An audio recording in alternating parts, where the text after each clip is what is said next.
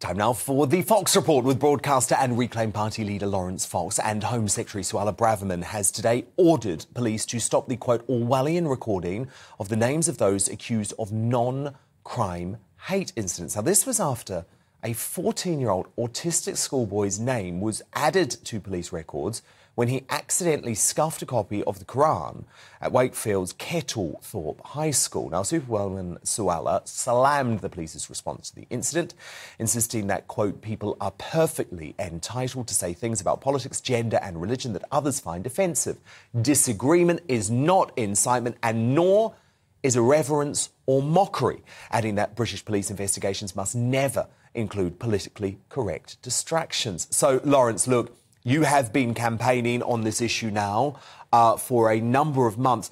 Do, do you think this is a sign that you're finally winning the battle against the politicised plod? Good evening, Dan. Um, yeah, look, it's a step in the right direction, and we should all take our hats off to Harry Miller, actually, who put his life and livelihood and house on the line to fight Miller versus College of Policing over non-crime hate incidents.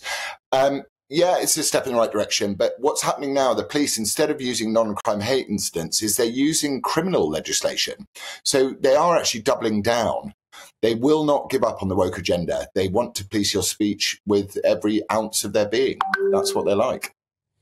And when you think about this poor young lad, Laurence, 14 years old, you know, does a silly stunt with a Quran. I mean, the police should have nothing to do with it. The police should actually be going for the thugs that are threatening this young boy and his family. Absolutely. Uh, it's appalling. And anyone who's witnessed what happened with the Batley Grammar School teacher uh, c- c- yeah, yeah, realizes yeah. that we do not live Just in a theocracy in this country. We live in a liberal secular democracy, which means we tolerate, not respect, we tolerate all religions and none. And um, anyone that wants to establish a theocracy in this country should be roundly rebutted. And I think um, Suella Braverman has been very good on this issue. But, you know, politicians do talk. It's whether they walk as well. Now, look, uh, I want to talk about uh, probably my least from one of my favourites to my least favourite politician in the country, the failed London Mayor Sadiq Khan, uh, who has undoubtedly left the capital, once the greatest city in the world, worse off, uh, with crime spiraling out of control. You know, you've got the public transport network running on empty, unpopular air pollution policies driving London's road users to despair. Next year, of course, we'll see a new mayor elected. And you, Laurence, are keen to see an alternative Labour voice who will challenge Khan's campaign for a third spell in office. What can you tell us?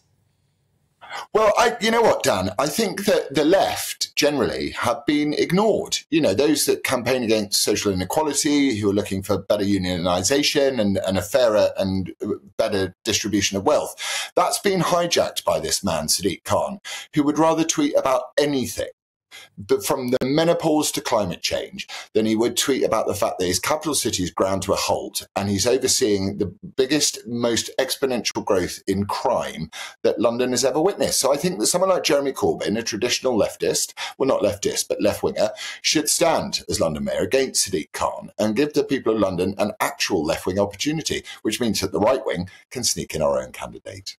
yes, split the vote it is a good yeah. strategy. Uh, get them going for each other, and then someone comes through the middle. I like it.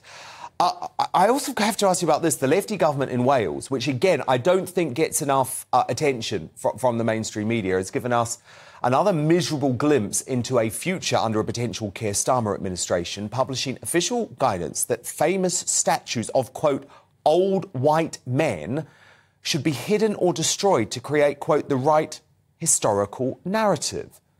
Welsh wokery warriors are concerned that some statues glorify powerful, older, able bodied white men, which they worry is offensive to Wales' diverse population. Now, Laurence, we've known for a while that able bodied white men are a real threat uh, to the left. Uh, but let's call this out for what it is, right? State sponsored racism. Absolutely, what it is. Uh, if this sort of behaviour was aimed at any other ethnic group, uh, there would rightly and justifiably be outrage that um, such open and transparent racism was available. But it's also an argument to ditch this idea of devolution uh, and to stop the Welsh having a say on this stuff. This stuff should come, we're a United Kingdom, our laws and our rules should come out of the centre of government.